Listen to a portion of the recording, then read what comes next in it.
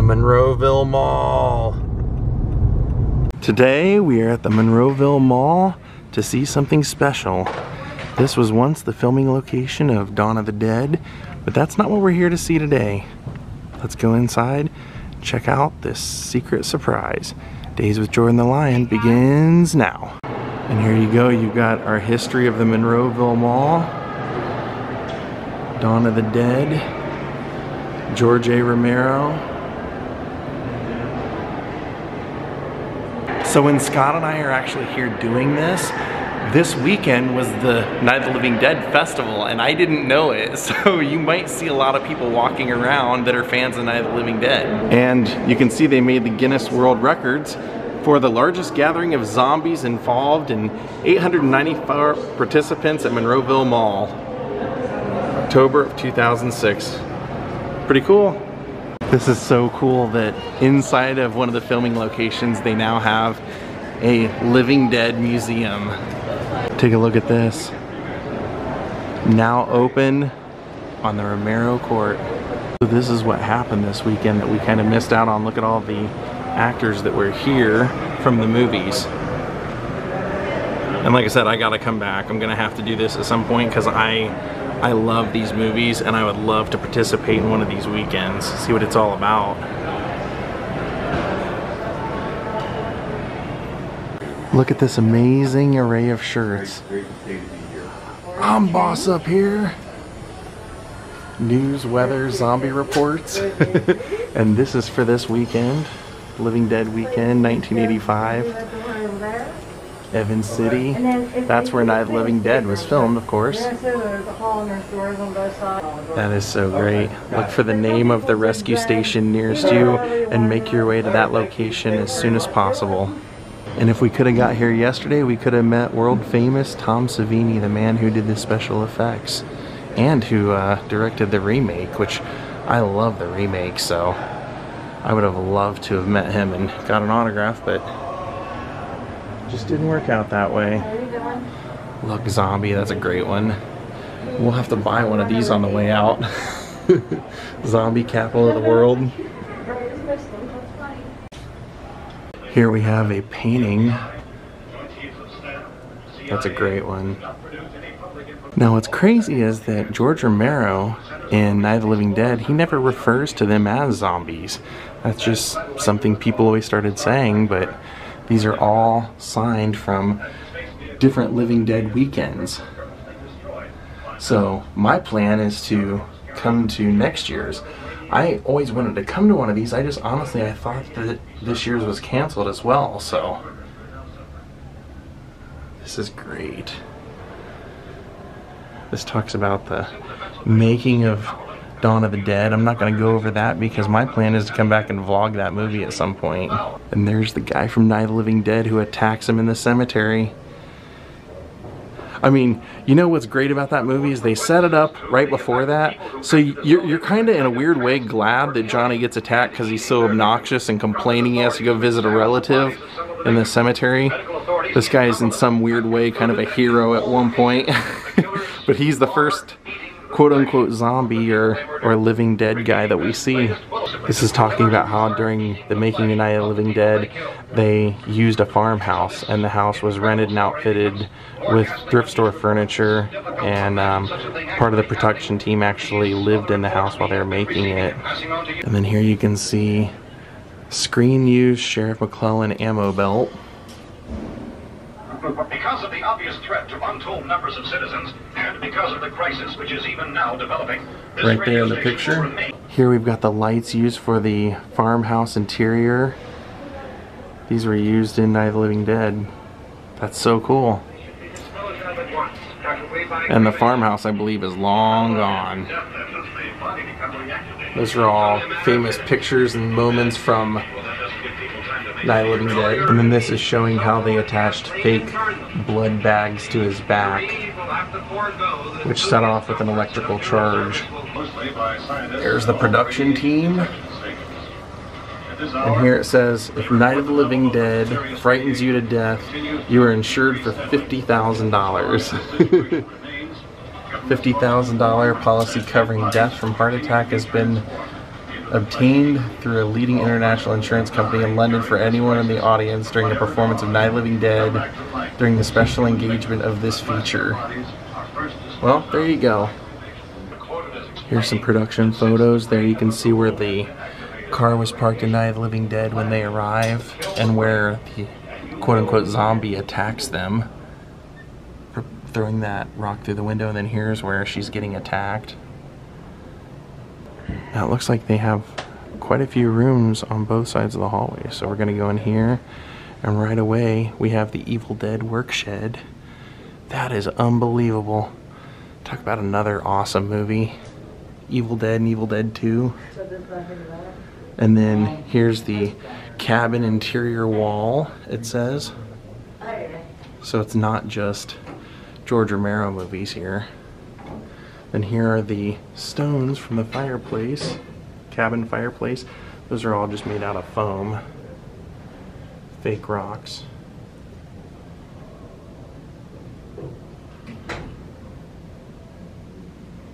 And it's not a recreation, that's actually the one used from the movie. That is so cool. God, I just want to touch it just once.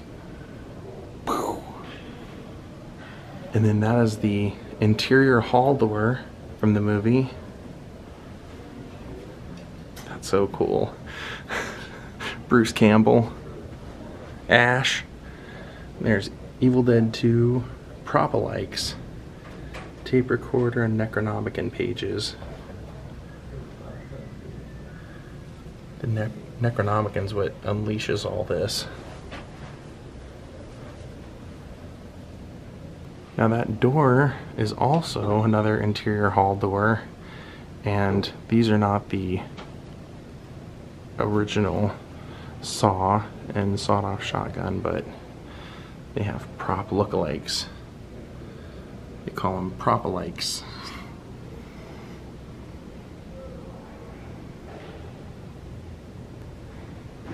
Now look at what else all they have for Evil Dead. That's part of the tree, that forest tree. That's the cabin roof. How long have you guys been? The window uh, frame. One just opened in November. The exterior wall right there. And then look, the windows. Well, we used to be in the That's awesome. And those are from the then when we movie as well. And then right over here, we have the two cabin doors. It's pretty cool. So it sounds like they had more than one museum, but after COVID, they consolidated it to two. Let's see what we have in here. Mindhunter screen used jet airplane cabin set. I've never seen that movie. Huh. Pretty cool though. Because that's very old school, old style fabric. Dates the plane. There's the set decor for the, looks like the mayor's office and police department. The flag was in the movie as well. These are all screen used. And that's uh, Holden Ford's Hospital IV stand. And then we have the screen used map from the movie of Atlanta. These are in the movie for police department scenes. These are all just bulletin board type stuff. Involuntary hospitalization for mental illness. And here we have production used props. Those of you that have seen the movie. Makes me want to watch it though. If it's good enough to make it in this museum, it's got to be a good horror flick.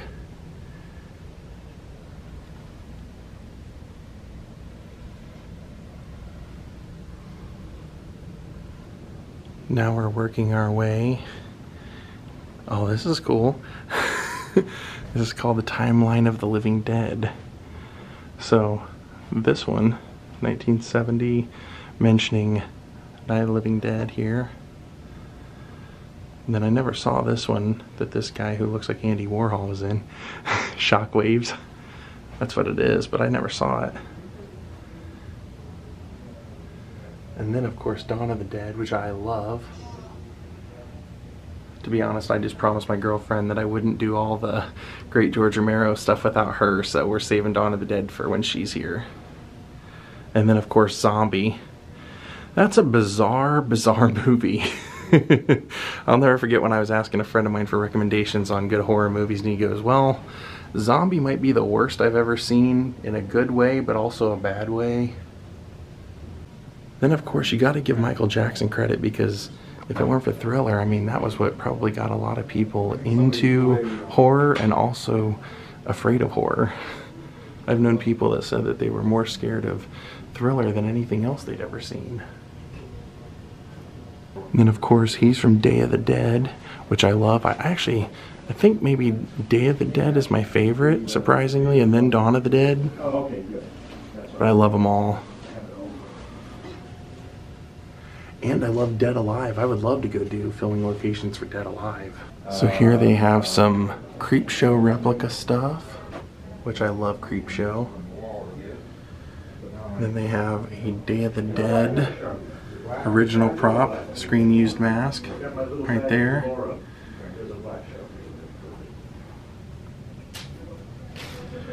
I I also love Land of the Dead. I know a lot of people that didn't like that. I saw that in the theater. I loved it.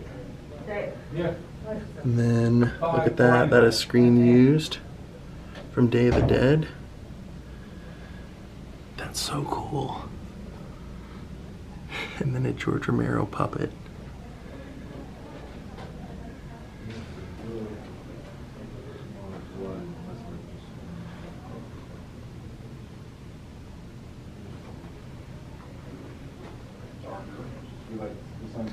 And then this door is from the movie The Crazies. Screen used and signed. It's got all the blood handprints on there. That's great.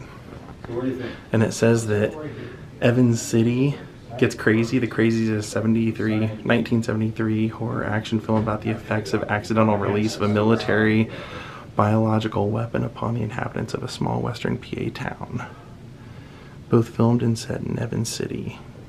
There's one of the costumes from the Crazies.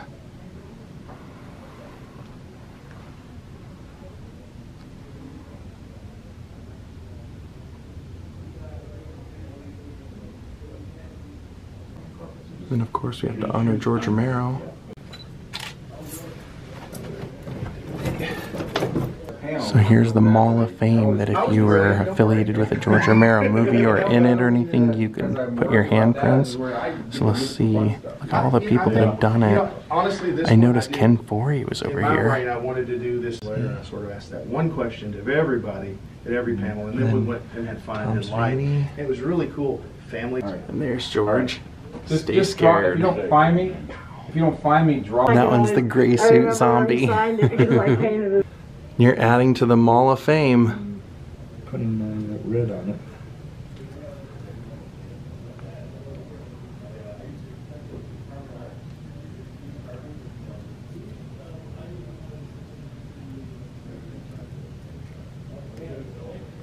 Bottom in the middle, they get a little texture. All right, so when you put it in there, make sure you put your palm in tight too, so you don't, you know, so we get a whole. So keep my fingers together? However you want to, you can do your whatever you want with your Okay. fingers. You can do different things. like but this, right there? That's if you like that, that's good with me. And then once you press, hold it in for a bit.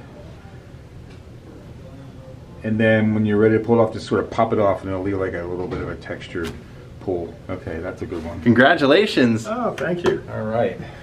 I would highly suggest you talk to Kevin. Still have. I never got any of those. Got any of those somehow. What's Johnny? They're coming to get you, Barbara. that I have. I'm interested in any of them. You know, how much do you want for them all? And so you always take care of first one, of course.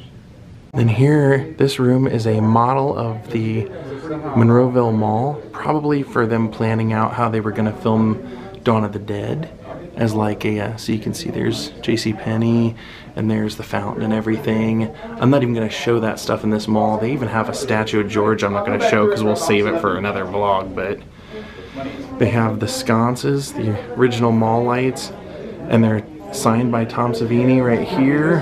That one is special effects man. And that one's signed by George Romero. Stay scared.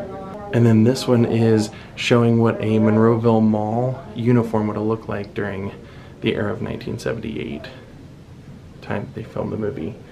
And they have part of the original escalator here. Part of it from Dawn of the Dead. This would have been near J.C. Penney. Now we're walking into here, and here we have the original elevator from the mall, from the J.C. Penney part of the mall from Dawn of the Dead. It's all reconstructed. That was exactly the one that they used. They got the doors, ceiling, side rails, lights, key panel, and button panel. That's crazy.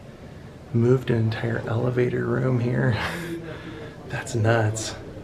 I love it. I love the commitment. and you can see the guy coming out of it. Then these are Dawn of the Dead screen used props, including the SWAT team rifle, the turtleneck, and the gas mask.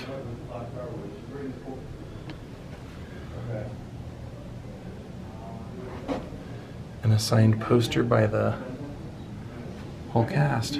And then here we have an entire case full of props. We've got the production props from Dawn of the Dead, the JCPenney alarm bell, spam, a bullet, actual bullet from Dawn of the Dead down in there, the fire extinguisher sign, that's awesome the ceiling lights from J.C. Penney. the SWAT gear, Roger SWAT gear. Right there, all that stuff. And Tom Savini cut out machete. Unidentified production, huh? Still cool to see his machete signed. This was Jim Krut, who played the helicopter zombies, costume and headpiece.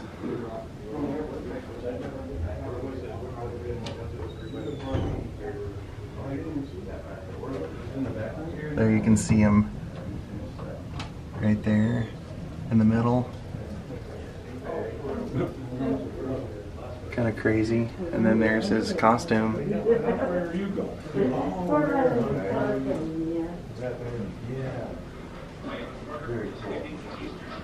And as we wrap up this tour of the museum, they have an entire wall of signed photos from various people from various movies that George Romero made. That is awesome. Kevin. Oh. I think we might have to get one of these shirts. I don't know. They have too many cool shirts to choose from. And even a Christmas sweater. To I think I'm gonna get one of these. There's the Necronomicon, and there's a an Evil Dead sweater. Very appropriately, the museum is right by the J.C. Penney, and we even get to take the escalators down. Hey Scott, how boring was that museum? I'm kidding. that was so freaking awesome, wasn't it? Cool. I like the escalator stairs are really cool, and uh, And the elevator, they moved an entire elevator Yeah. in there. I love that. yeah, that was really cool. So the event was so big that they had two separate locations in the mall. And this one you could meet the cast of Day of the Dead, and then down the hall you could meet cast members from Dawn of the Dead. I'm definitely enticed to come back for this next year. Okay, well maybe I will show it since it was right down at the bottom of the escalators. George Romero. I'll read the plaque the next time we come. I don't want to ruin everything, but this was so cool, and thank you for the movies. George, I don't know what we would do without quote unquote zombie movies. I know you didn't call them that, but I love the, I guess, quote unquote, dead movies. Night of Living Dead. I even liked all the Return of the Living Dead, all that stuff, so this was really cool to get to do today. Well, my friends, we're gonna call it a day. I mean, literally, until next time we're here, when we will be coming back, we're gonna call it a night. Have a great night, and watch out for Living Dead. Goodbye.